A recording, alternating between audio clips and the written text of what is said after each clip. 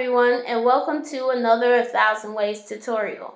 In this video, I'll be showing you guys how to convert an image into a colorful sketch effect here in Photoshop.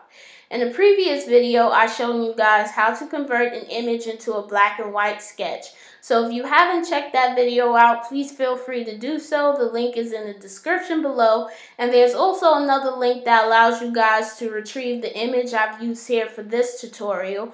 Or you can use a personal image of your own. Either way is fine. So I'm going to open up my image in a new document by going to File, Open, and I'm just going to retrieve my image from my Pictures folder here. Once that's done, you see I have this nice, bright, and colorful Easter egg wallpaper here. And there's a bright light on this egg here, which I don't want. And the reason why that is, is when we convert this image into a sketch effect, we don't want to lose any detail. So I'm going to bump up the contrast and bring down the brightness of this photo. Now, if you have a high contrast photo and you don't have any problem with lighting, feel free to skip the first step here. But I'm going to go to Image, Adjustments, Brightness, and Contrast. And I'm going to bring my brightness down to negative 50 and my contrast up to 80. And I think that's pretty good, so I'm going to press OK. Now once that's done, I'm going to duplicate my background layer by pressing Command J or for PC users, Control J, and I'm going to desaturate this layer by going to Image, Adjustments, Desaturate. Once that's done, you see that our image has been relieved of all color, and then I'm going to duplicate this layer by pressing Command J or Control J, and then I'm going to go to Image, Adjustments, Invert.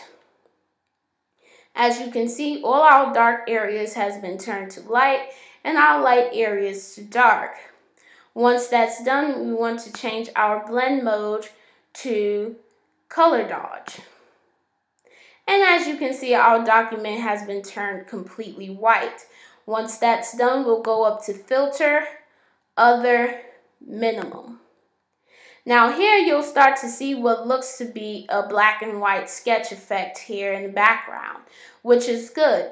For my photo, I use 3 pixels as my radius. Now do not go any higher than 5 pixels because once you do so, your photo will no longer look like a sketch and you'll get these big gray squares on your image, which you see here in the background, and you do not want that.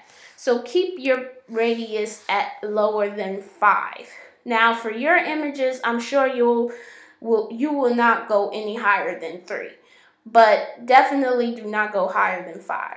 So I'm happy with what I have, so I'm going to click OK. Once that's done, we want to merge all our layers into a new layer. And to do that, I'm going to hold the Option key.